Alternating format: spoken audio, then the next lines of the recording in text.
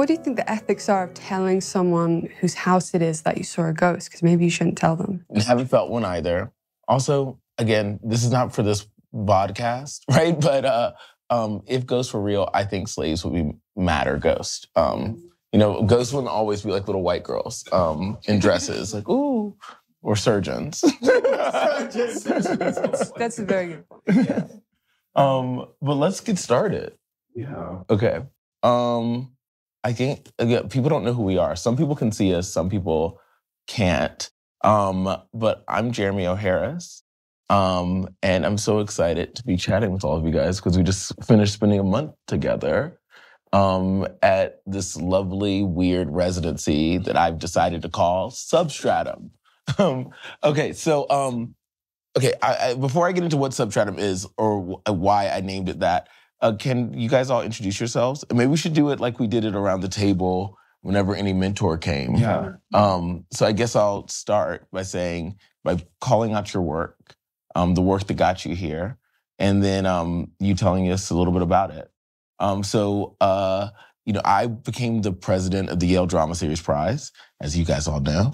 And um, the f- uh, first thing I got to do while I was there was uh, read 1,700 plays and choose my favorites. And four of those favorites um, became four of the first substratum residency fellows. And um, one of the first plays I put in my top five, top four was a play called Class. Um, Class was this really beautiful, lovely play that felt really exciting because weirder things were happening outside, uh, out like just off stage than right on it. Um, and the things that were happening right on it were so honest um, and like explosive in their like minute details of intimacy and um, complexity. Uh, so the person I wrote that was Chloe. Hello. And um, tell us a little bit about yourself, Chloe. I'm called Chloe Myerson. I'm a TV and theatre writer from London. And I, yeah, mostly write TV. But last year I had a, a break from TV because a, a project fell through, which is very normal in TV and very frustrating.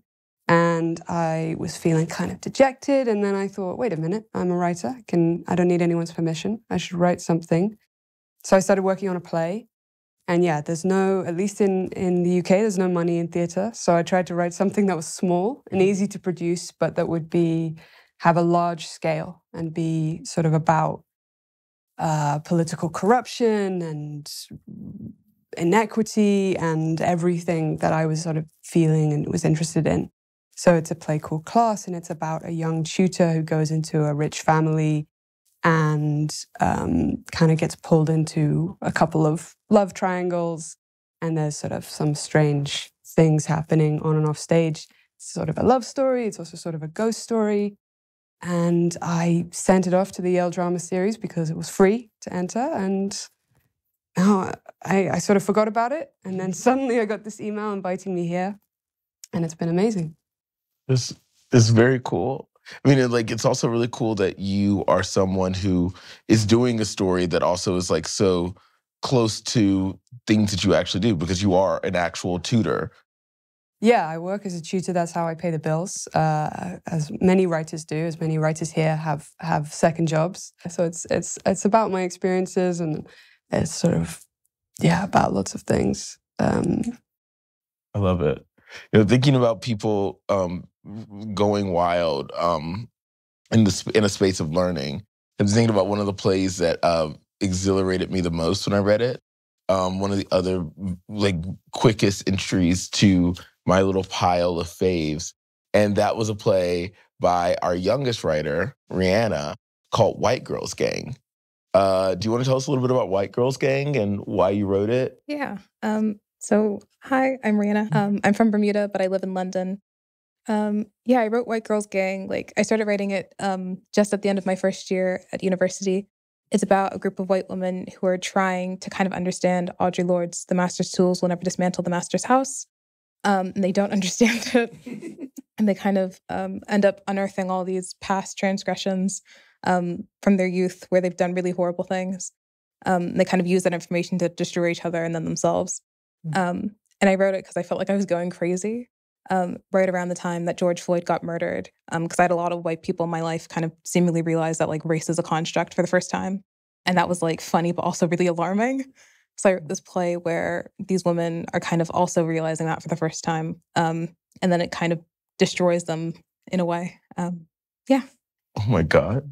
So much fun. And like it's it's so wild because when I read this play, I was like, someone my age, someone of my expressivity had to have written this.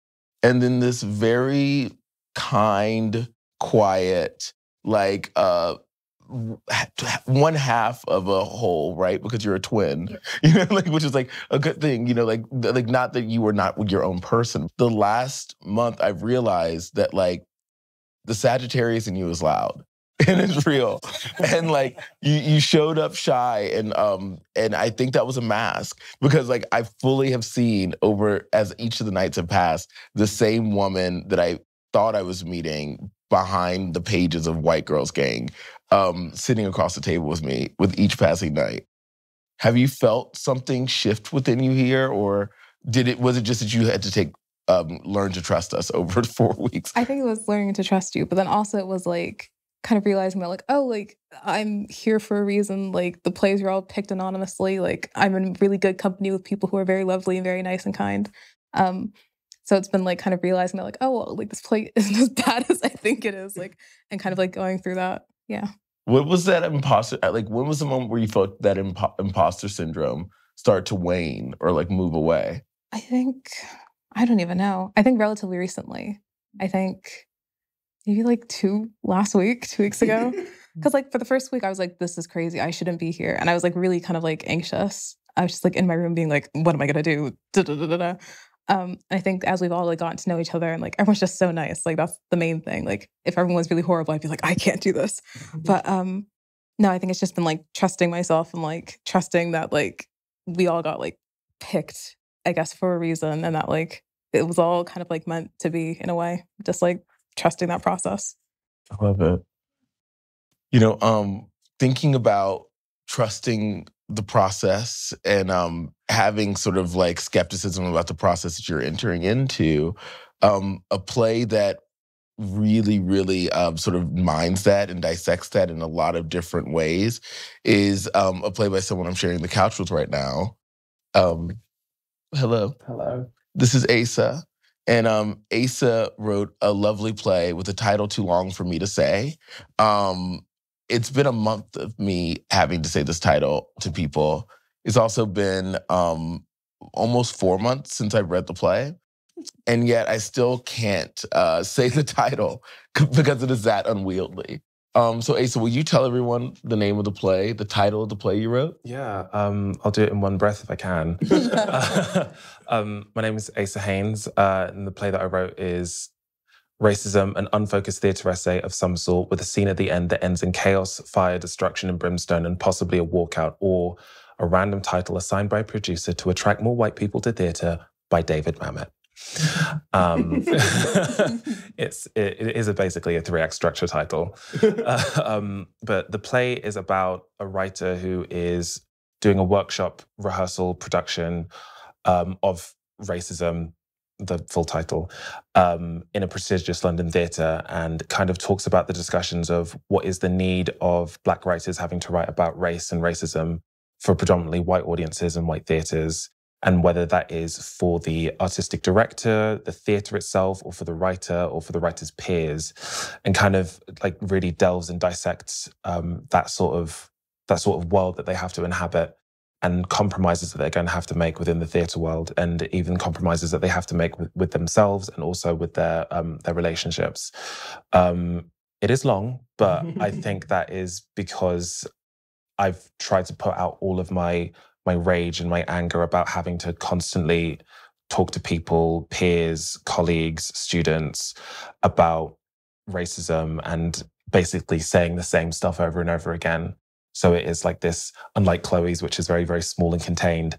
Mine is a kaleidoscopic mess of everything mm. that I hate about um, talking about racism, but then also everything that I find extremely funny about talking about racism, because it sometimes is quite funny to just watch people kind of go, wait a minute, I do that. My family do that, and I just find quite that find find that quite funny to put on the page. Um, but yeah, that is my three act structure play.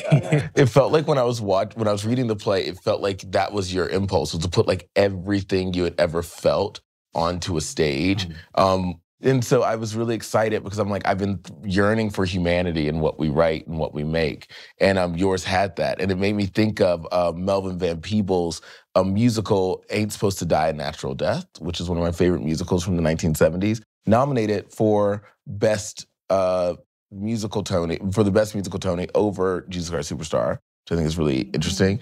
Um, but he wanted to put everything about Black life in America on one stage. Um, so like in one scene, there's like a, just a big like rat from the projects that walks onto the stage, and like a pimp, and like all the like all these. But like there's like 400 people on the stage, or seemingly at one point. Um, and your play reminded me of that. that sounds like heaven to me. Yeah. What else were you pulling from when you started writing this play? Um, I think I was pulling from just like perceived personal experiences, like uh, like uh, training as an actor. I always always believe in like the big what if and like what if this could happen, what if that could happen, and then some conversations that I've had with some director friends in the UK about what their experiences were like being a black direct black director or a queer black director in the UK, and just kind of piling that all in. That I kind of like was like, this is horrible, this is disgusting. And then just basically, like Regina George, ran into my room screaming and crying and wrote into my burn book. um, and then it kind of like birthed this play. But that's kind of like, I think that's where the inception has come from, from this play. And then over the years, just cultivating it and thinking about what the hell I'm going to write with it, with especially with the end of it. But yeah. you made me think of the other play. Um, we see it's really good. You guys keep giving me great anchors to move to the next piece. Um, because there's something about um, the usefulness of this fourth play that um, that really sparked uh, my interest because I I'm really obsessed with great crisp dialogue and the way people can tell um, uh, tell rich stories by staying true to like the honest idiosyncrasies of how people talk. And I think it's the hardest to do that with young people because a lot of people don't listen to young people. And when I read this play with the title that also used to confound me, but now I've now I've conquered Trunk, Brief, Jock, Thong. Okay. Um, when I read that play, I was so excited um, because I felt like I was seeing young people and hearing young people that sounded like the young people I see and hear every day in my neighborhood. Uh, and that play was written by DJ.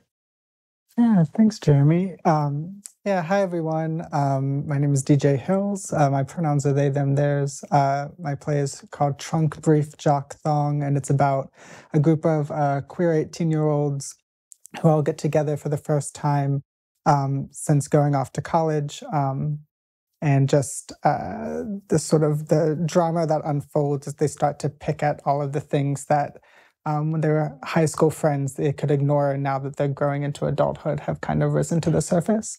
Um, and then uses sort of brechtian gestures um, to think more broadly about identity and the way that we construct identity and how for queer people um, identity often isn't something that they're given the opportunity to construct themselves but is something that society um, gives them that they have to sort of mold themselves into Love it. thanks So when you. Um, you know, being out here, you know, I've seen that you've also been like running through lots of different, lots of other stories because you are you are currently in grad school, um, and you're actively about to do your thesis, correct? Yeah, yes, I'm finishing up my MFA um, at UCLA um, in playwriting, and so I'm starting the process of um, yeah my thesis. So I, the way that the process works, I'm meeting with my dramaturg now to do a final pass on the script. In the fall, I'll meet with the designers, and then the show will go up in the winter. Wow. Yeah. And and you, I feel like you are you and Asa, and maybe th- my the next person I'm going to introduce have probably written the most since you've been here. It feels like, or it sounds like it feels like you, the three of you are constantly like, I wrote this last night. I wrote this last night. Um, can you tell me about the play you wrote the other day that has such a delicious title? Yeah, it's called Horse Girl and Cow Daddy. Um, it's about a uh, trans woman in her 30s. Her and her her father um, live in a small, sort of forgotten railroad town in southern Pennsylvania. And um, this uh, non binary um, sort of Teach for America person comes in and starts a relationship with Horse Girl um, and is. Uh, covers the the uh, the play covers the romance um, over the the corn harvest season, um, and it's looking at sort of the interrogating the myth of urban exceptionalism um, in rural spaces and this idea that rural people need sort of urban ideologies in order to to thrive. It's hot. I love that. Um, it sounds really fun to imagine how you know this new relationship is formed and how Cow Daddy is going to respond to it. yeah, Because um, I feel like Cow Daddy's not going to like that. yeah, yeah, yeah, yeah. Get You'll his girl. Um, you know, thinking about intimacies and relationships and urban exceptionalism, um, it has me thinking about uh, another piece that I really love called uh, Sex Act. And Sex Act was not a play. Sex Act was a screenplay, a screenplay written by someone that was very surprising to me. And when it came across my desk, I said to myself, "Oh, this person needs to needs to come out to my substratum thing. We need to have a space for people who are writing in film and television because I also write in film and television and I want to see them focus on this piece and make it bigger and better because it's so aligned with so many things I'm really into. And that was a play called that was a screenplay called Sex Act by Rafi Donatik. Hello, thank you. My name's Rafi Donatich. Um, I, yeah, I wrote this uh, series, television series called Sex Act, and it's about an intimacy coordinator who herself has never been kissed. Um, and for those of you who don't know, an intimacy coordinator works on plays and film and television sets to choreograph all of the intimate scenes, much like you um, might choreograph a fight scene. So uh, she works on this play starring, you know, the most famous Hollywood couple you could imagine. And they have stopped being able to be intimate with each other. And so they pro- project a lot onto this woman. And I just, I, I was really interested in thinking about what it would mean for a person to be an expert at something precisely because they have no experience with it. Um, because what even is experience? You know, it's such a weird word when used in that context.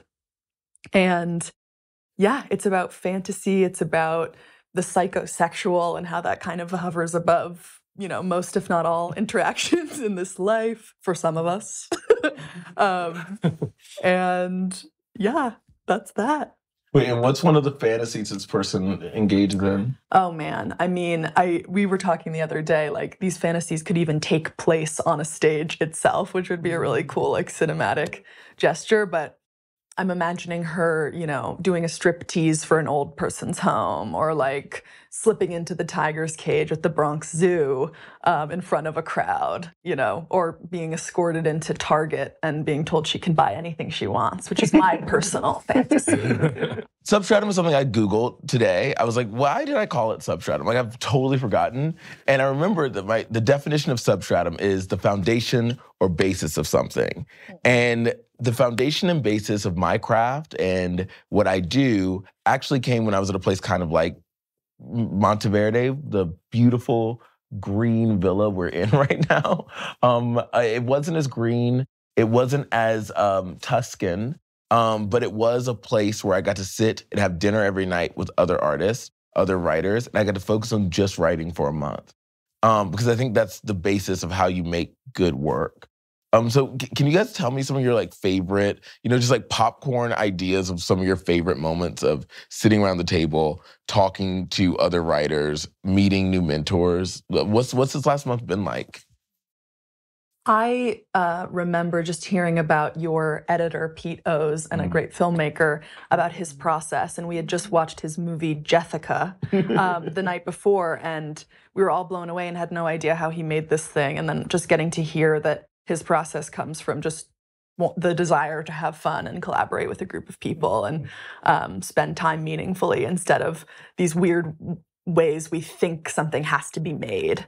Um, that was really inspiring, and I want to steal his process.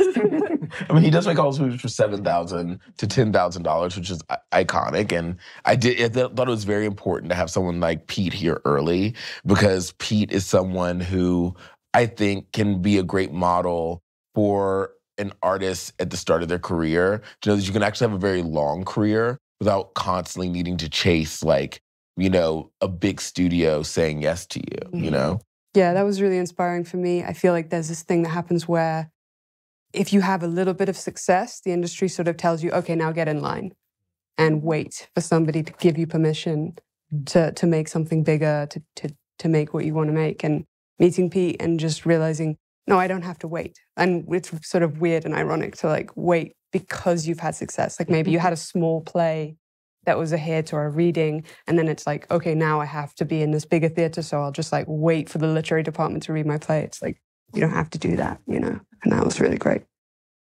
Yeah, I was talking to her about this last night, but um, one of my favorite uh, memories of being here is is um, spending time with Jazz, um, Jasmine Lee Jasmine Jones. Yeah, um, and we were uh, sitting out in the lounge, like nibbling on some some chocolate and just talking about um, uh, like trusting your your instinct and your gut. And I was telling her about this experience that I had where I had like a feeling about um, a project, but I was, you know, people were telling me they're like, you know, just like go for it, work with this person. I was like, I don't know, um, and we did, and um, the project turned out to be okay, but it wasn't it wasn't the the best collaborative experience I've ever had. And Jasmine was asking me, she was like, um, but what is like what is it that that made you say no? And I was we were talking about like the way that I think um, that your gut is almost always right, but that we often just like have convinced ourselves to like push that down because we can't we can't pinpoint why it is we feel bad about something. So we're like, okay, if I don't know the exact reason as to why, then I'm just going to like ignore it. Um, but that you don't always have to know the why. You just have to know that like I have a I have a feeling. Um, that was a really special kind of conversation. there's constantly someone inside of you being like, "You're a dummy. You're a dummy. You don't know what you're talking about. You don't know what you're talking about." And then there's this really warm, cool thing inside of you being like, "No, I think you do." Like, and I don't know why you're a dummy. It's the louder voice all the time. Um, I think one of the things that's been cool about being here is that I, you know, I still have that "you're a dummy, you're a dummy." Like, I mean, again, now I'm now I feel like I'm channeling jazz because I was about to quote Precious. It like there that voice has been so loud, but I do feel like there's something that that quiets that voice by being able to take like a mile long walk through like the like I don't I- they're not moors that's in Scotland, but like the what the the valley out here, like the the seeing that much green and wandering through it makes you listen to that gut inside. Yeah. I think there was, there was one day a couple weeks ago, I was like, do you know what? I'm going to take a long walk. So there's this, uh, I don't know, like caves, like burrows called uh, La Fagita, which has been very wonderful for all of us to find and say. Um, but I took a really long walk, listened to the entirety of Did You Know There Was a Tunnel Under Ocean Boulevard by Lana Del Rey, which has been probably the substratum uh, anthem and like soundtrack for the past four weeks.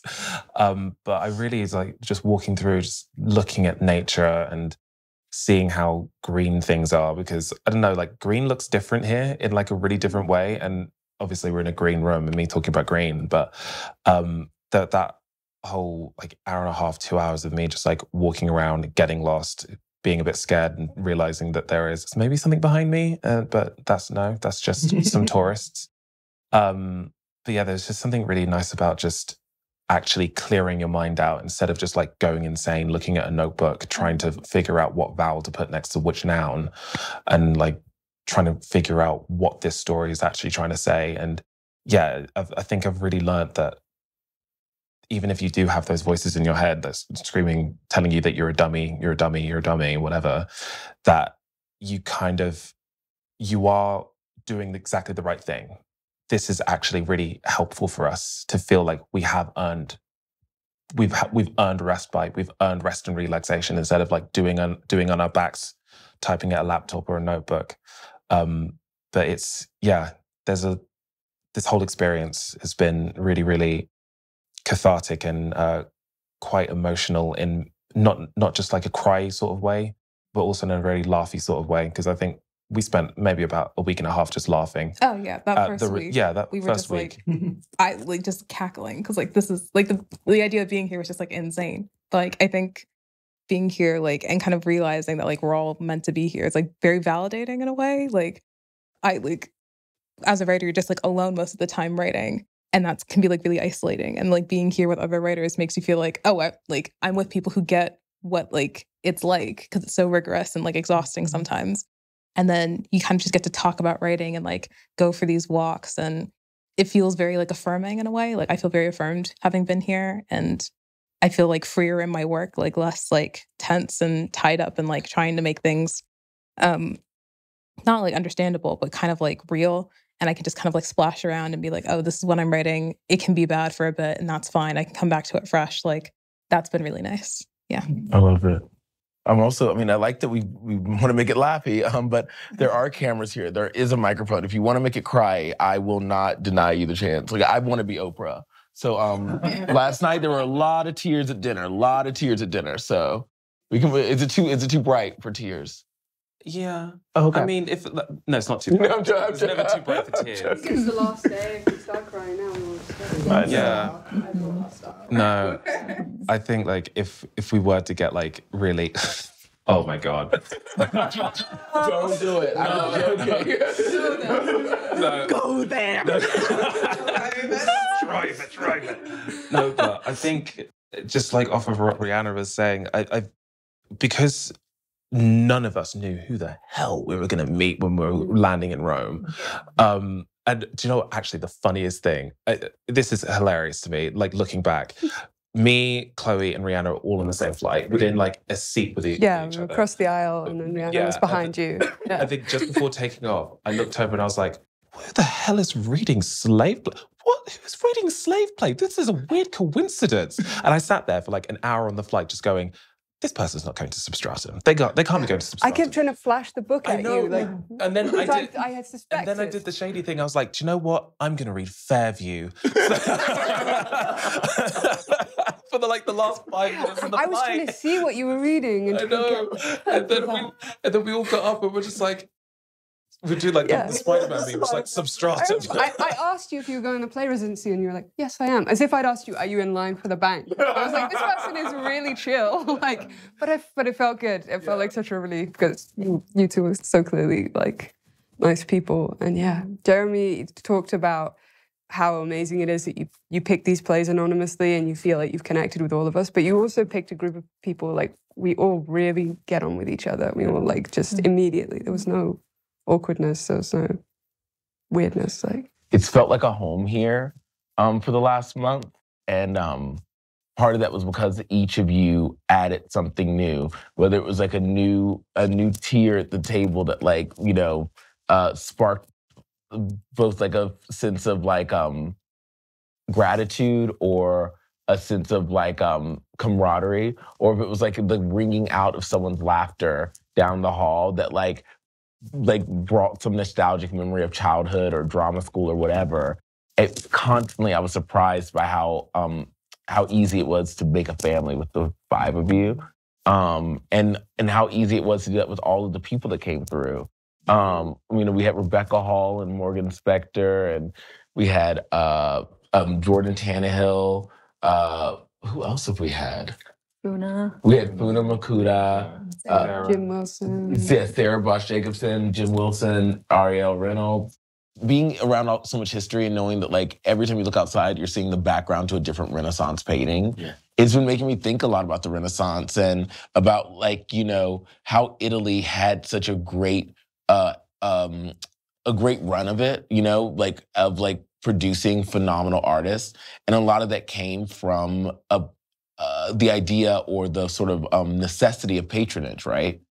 Um, and one of the things that's really cool about Substratum and really cool about Gucci is that Gucci allowed, like, Gucci became my patron to allow me to extend their patronage to others, right?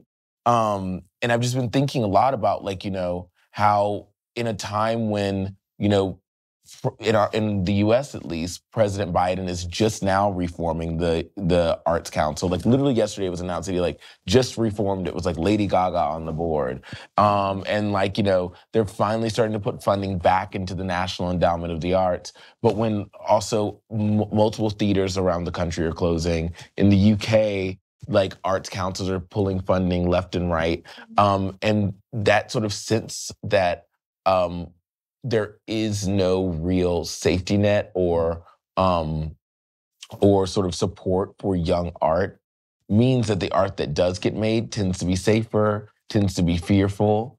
Um, it's made me it's made me so grateful that um, when I sat down and talked to everyone at Gucci, they were like, "Oh, this plan makes sense." Like obviously, after two years of being like shuttered, you know, the theaters being shuttered, artists would not know what to do. Young artists would not know what to do. Like other artists might not know what to do, and might not have space to do it.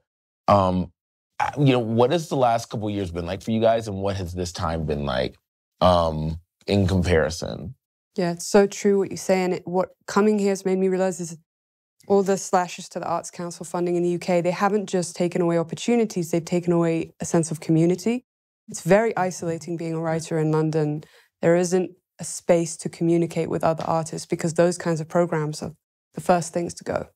And so, yeah, just having space and time to talk with other artists and to create a community is something I didn't even realize I was missing. You know, one of the things that's also quite funny is that um, another reason I wanted to do this, both in Italy and with Gucci, is that the first time I felt really, really inspired, like in a in a way through clothes. like you know, because I'm I'm always inspired by clothes. I love I love dressing myself. I feel like every time I put on an outfit, I'm telling a new story about myself. Um, but when I went to um, the the uh, Gucci show in Milan, that and, and and saw like I saw something happen on the runway, and I can't even fully um, articulate um, the nuances of what the that moment of seeing this dress move in this way. But I saw a dress moving away, and after the show, I ran up to the team and I was like, "Have you seen Castellucci?" That moment felt like Castellucci, who's like my favorite Italian theater director. Um, and so when we when we knew that we were going to be here and um, we had this opportunity to be as close as we were to Florence, I'm so excited we got to go to the Gucci archive because I feel like there I don't I don't know. I, there were so many things that I I keep thinking about. Like you know, even just like the utility of the latches in the 1930s or 20s. I can't remember what year it was when the first suitcases were made. Mm-hmm. I was just like looking at that and I'm thinking about that. And I'm making a TV show about um, someone making furniture right now, and I was just like, oh, I can't wait to like think about the details of um, them making their mark on the world when they were this young, young company um, through the latch and the and this very simple emblem that said. Gucci. Was it was there anything there that like really sparked for you guys? I mean, being uh, a flaming homosexual, uh, looking at Lana Del Rey's Met Gala uh, outfit for what was it? Was it camp for camp? It was genuinely one of like the most insane things I've ever seen in my life because I've like I've never I've never seen couture before in my life. I've never seen something that has been so intricately made in my life. Um, so being literally like this close, obviously not touching it because security, um, but being like this close and just looking at the beading and looking at the patterns and looking like even the metalwork of like her her heart that had the um, that had swords going into it. I just looked at it. I was like, it, it, it's just one of those moments where you go, when something so monumentous and beautiful gets made, there is so many tiny little fine details that kind of put it all together. If that one, if this one bead was placed slightly differently, the whole outfit would be completely different. It wouldn't be what I'm looking at right now.